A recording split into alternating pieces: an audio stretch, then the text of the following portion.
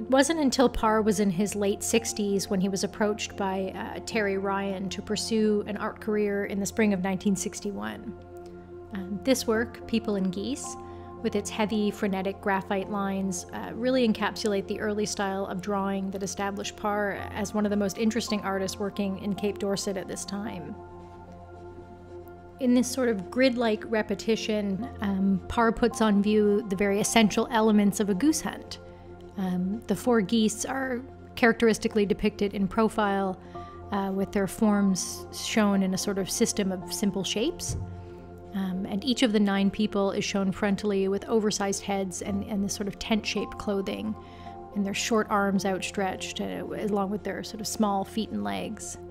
Um, while all the human figures are quite similar, their face shapes are described with some variation. Um, five of the nine heads are encircled with a sort of secondary circle, um, the interiors of which are built up with, again, those heavy frenetic lines.